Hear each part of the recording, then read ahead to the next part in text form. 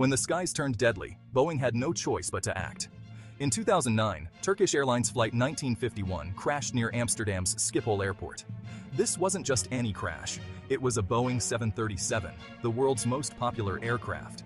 Investigators faced a daunting question. Was it pilot error or a system flaw? The answer shocked the aviation world. The plane's auto-throttle and a faulty radio altimeter conspired to stall the aircraft during landing. This crash forced Boeing to rethink its safety systems.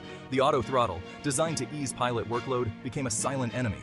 Pilots were trained to trust their instruments. But what happens when those instruments fail? Boeing had to act fast. They revamped training protocols and enhanced system reliability.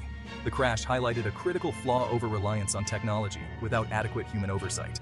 The tragedy of Flight 1951 serves as a stark reminder that even the most advanced systems need vigilant human supervision. In aviation, safety isn't just about cutting-edge tech. It's a delicate balance between man and machine.